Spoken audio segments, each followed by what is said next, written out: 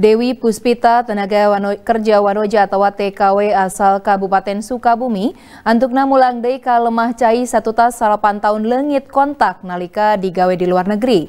Kiwari Dewi babarengan deui jeung salaki tur anakna duaan di Kampung Cijambe, Desa Sukaresmi, Kecamatan Cisaat, Kabupaten Cianjur.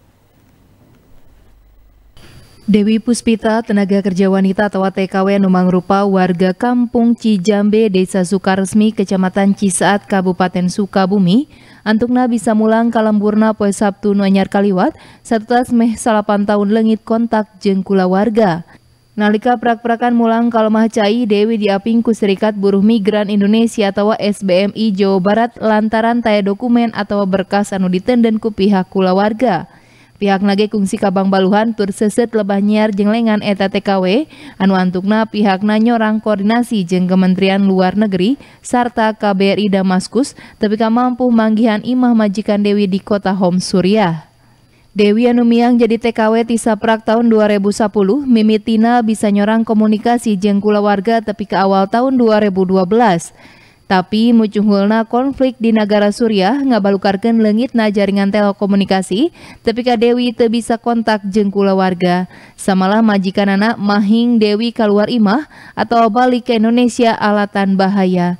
Selama selama 9 tahun itu teh ada kangen nggak ke Iya kangen. Terus eh, bingung gitu cara apa? Iya bingung. Hmm.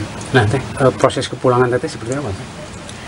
Proses kepulangan dari KBRI menghubungi majikan. Katanya saya, saya udah di udah seharusnya pulang. Majikan dari homeless pergi ke Assam ke Safara.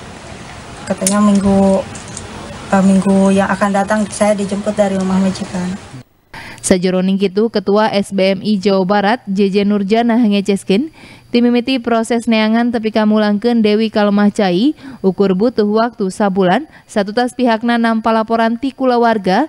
Ngenaan anggota kula warga nanu lengit di luar negeri tan pikanyaho di mana ayana. Pas ada ditelepon sama uh, eh, KBRI Halik ya orang KBRI ke majikan.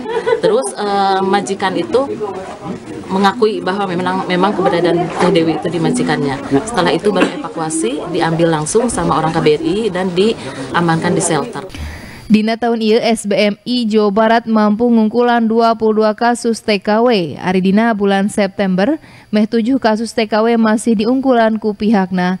Rarancangna dina waktu anu moalila deui pihakna bakal mulangkeun TKW sejena anu aya masalah ka Sukabumi. Budi Setiawan, Bandung TV.